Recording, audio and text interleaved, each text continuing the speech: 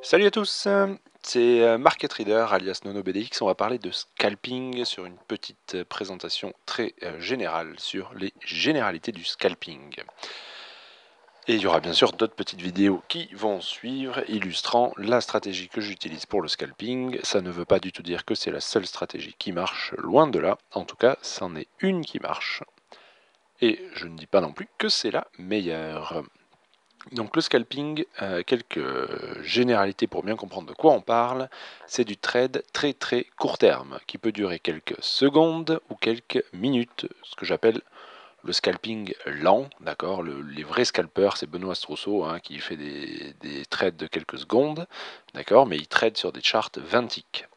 Les ticks, qu'est-ce que c'est? Le tick, c'est un nombre de contrats par barre. Par exemple, vous dites, je veux que... Euh, y ait euh, qu'une bougie corresponde à 50 contrats. Et eh bien, tous les 50 contrats, il va vous faire une bougie. Ce n'est pas en lien avec l'unité de, de, temps.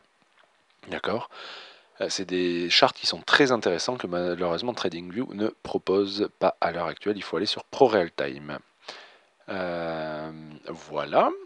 Donc, au niveau du trading. Donc on utilise un chart qui est en minutes ou en ticks, c'est ce que je viens de vous expliquer. Et généralement ceux qui trade avec des ticks, c'est un scalping qui est très lent, très rapide, quelques secondes, et ceux qui trade sans ticks, c'est-à-dire avec euh, ben, des bougies de 1 minute, c'est généralement plutôt un scalping qui est lent avec des positions qui durent 1, 2, 3 minutes, 5 minutes éventuellement un peu plus si ça part euh, dans le bon sens.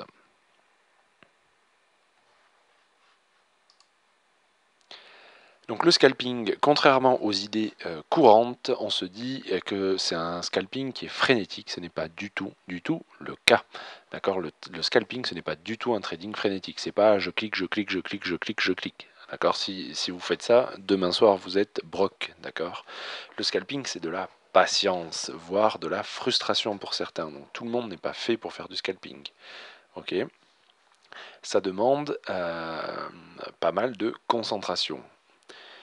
Ça a quand même quelques avantages. Euh, ça requiert peu d'analyse technique.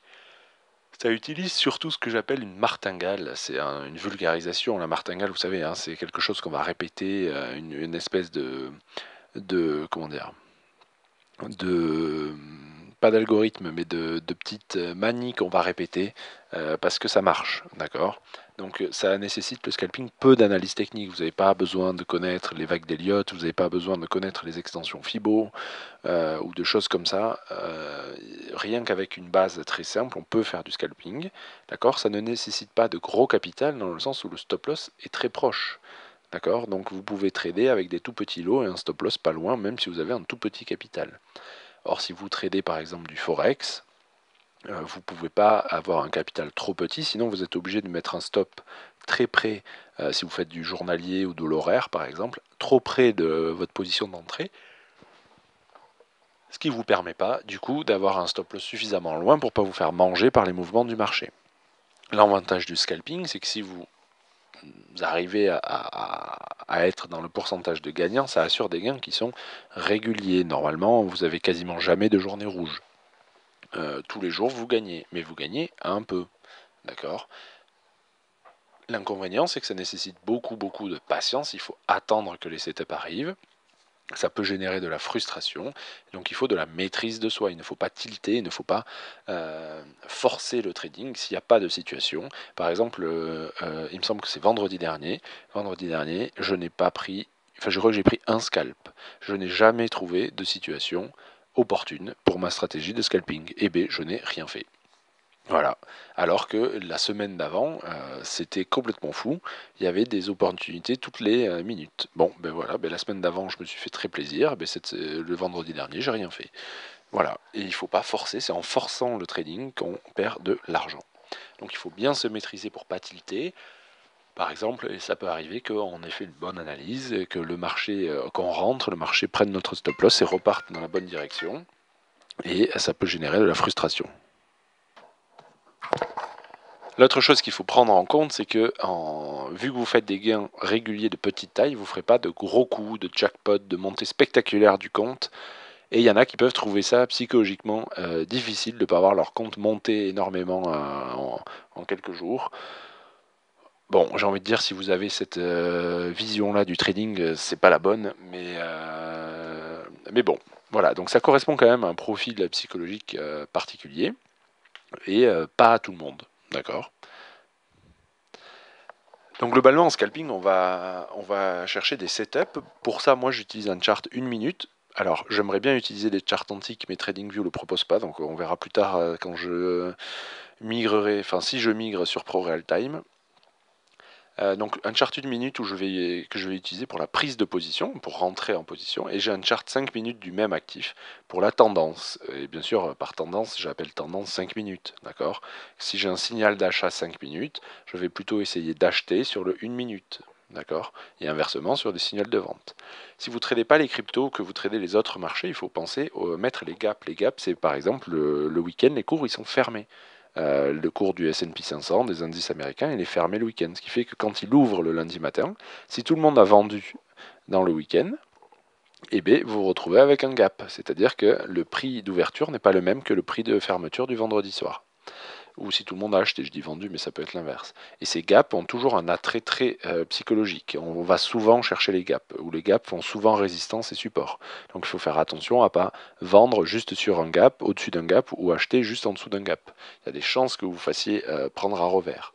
On met les points pivots. Les points pivots, c'est des formules toutes bêtes euh, qui calculent en fonction de la clôture de la veille, des plus hauts et des plus bas, des points pivots et des résistances qui sont que des dérivés du point pivot. C'est important car c'est regardé par les robots, par le trading automatique et par beaucoup, beaucoup d'institutions. Donc il y a très souvent des réactions sur les points pivots. Et donc bien sûr, si vous êtes long et qu'on arrive sur un point pivot par le bas, ben, vous allez clôturer quand on va toucher le point pivot.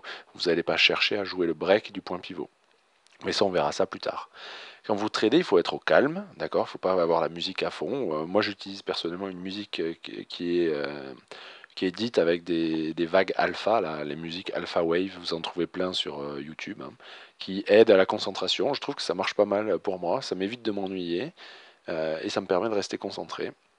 Il faut chercher la perfection dans les entrées. On ne fait pas de non, mais là je le sens, mais je, tente quand même, même si tout n'est pas réuni, je tente. C'est toujours là que vous perdez de l'argent. L'avantage du scalping, c'est qu'il y a plusieurs euh, opportunités. D'accord? Et donc, si on en rate une, il y en aura une quelques dizaines ou quinzaines de minutes ou une heure plus tard. Alors que si vous faites du swing trading, si vous ratez l'entrée, ben vous l'avez raté. Il va falloir réattendre plusieurs jours ou semaines. Euh, on continue dans la stratégie, il faut faire attention aux annonces également. Par exemple, si vous ne tradez pas les cryptos, euh, ou même si vous tradez les cryptos, il faut faire attention s'il y a par exemple Donald Trump qui parle ou le président d'une banque centrale qui parle. Ça risque de faire bouger euh, extrêmement les cours et il ne faut pas trader dans ces situations-là. Il faut faire attention aux horaires de trading où vous tradez. On trade quand il y a du volume, on évite de trader euh, quand il n'y a personne. Ça va faire des mouvements euh, très bizarres, sans volatilité. Il ne faut pas un excès euh, énorme de volatilité, mais il en faut quand même un peu pour trouver des opportunités. Le but du trading, c'est la répétition d'une stratégie à haute probabilité de petits gains. D'accord C'est quasiment, euh, si j'ai ça qui arrive, les trois prochaines bougies ont de fortes probabilités d'être haussières. Et eh bien je rentre jusqu'à, et je clôture trois bougies haussières plus tard. Voilà, il ne faut pas réaliser d'exception, c'est une stratégie que vous appliquez. Vous clôturez, c'est un exemple, je vous donne, moi c'est pas ça que j'utilise, mais par exemple, vous clôturez trois bougies haussières après euh, le début de votre euh, trade. Peu importe si on monte pendant 20 bougies derrière. Moi j'ai développé un espèce de mixte qui permet quand même d'attraper des mouvements tendanciels, on va voir après. D'accord? La lecture du marché, euh, c'est-à-dire les patterns, les mouvements du prix, euh, vient avec l'expérience et la répétition des mouvements aussi. D'accord? D'ailleurs, j'ai oublié un S, je suis désolé. Euh, par exemple, vous allez voir qu'il y a certains actifs qui aiment bien casser leur point pivot et réintégrer quasiment dès le début leur point pivot. C'est-à-dire ils le cassent de quelques bougies et hop, on revient dessus. Voilà, mais vous allez voir au bout d'un moment ça apparaître et vous allez savoir, vous allez reconnaître parce qu'il fait toujours la même chose. Quand ça, ça apparaît, vous allez acheter pour jouer la réintégration du point pivot, par exemple. Ça, ça vient avec le temps. Il faut pas. Plus vous allez euh, être concentré quand vous tradez, plus vous allez remarquer des choses et plus vous allez améliorer votre bagage de trading il faut bien sûr privilégier le trading dans le sens de la tendance. Euh, c'est-à-dire qu'en fonction de ce que vous dit lutter 5 minutes. Il faut éviter le trading contre tendance sur des ticks ou, des, ou du 1 minute, c'est le plus dangereux. Donc moi je traite avec ce que j'ai appelé Market Scalper, c'est un indicateur qui est sur TradingView, qui suit une stratégie claire de suivi de tendance 1 minute avec achat des replis. D'accord? Là je vous montre un exemple. Euh, là j'ai mis brut, hein, l'indicateur, il y a plus de choses que ça. En plus des signaux achat et vente, il y a euh, deux autres lignes qui apparaissent. Et la stratégie est très claire, mais on verra plus tard. Quand est-ce qu'on considère les achats plutôt que les ventes et quand est-ce qu'on considère les, achats, les ventes plutôt que les achats? Ici, c'est une stratégie claire où on, vend, on privilégie les ventes. Donc à chaque fois qu'il y a un signal vendeur, je le vends. Et, euh, et je TP sur le signal contraire. Et vous voyez que là, c'est petit trade, petit trade, trade un petit peu plus long, et gros attrapage de tendance, là, énorme move. Je ne vous dis pas que celui-là, je l'aurais clôturé euh, ici, j'aurais très clairement clôturé sur le point pivot. Euh, sur le, vous voyez, cette ligne là, c'est le support S1 qui est dérivé du point pivot qu'il y a là. Très clairement, je l'aurais euh, j'aurais pris des profits ici. Et là, vous voyez, on casse, on réintègre, pullback dessus avec signal de vente, j'aurais repris, signal de sortie, et on continue comme ça, nouveau contact avec signal de vente, et on redescend. Vous voyez, donc c'est à peu près toujours, toujours la même chose. Euh, et, mais ça, on verra la stratégie euh, plus tard.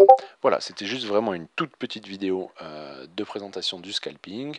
les détails de la stratégie seront dans les prochaines vidéos. Vous pouvez me suivre sur YouTube Market Reader, sur Twitter Reader underscore Market, sur TradingView NonoBDX ou sur mon site internet marketreader.org. Je vous souhaite une bonne journée à tous.